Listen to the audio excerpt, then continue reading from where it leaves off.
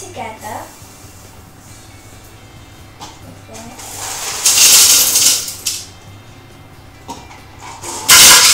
Just mix it around.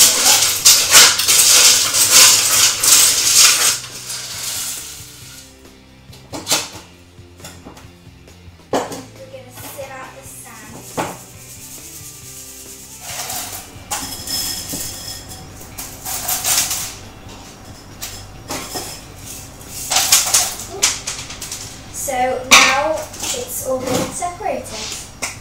So as you can see now, the salt is, the water is evaporating and you can see the salt on the side of the pan.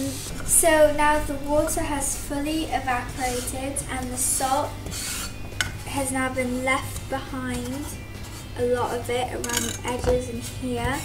So we separated the pepper from the salt using filtration and now we've evaporated this, the water from the salt from the water.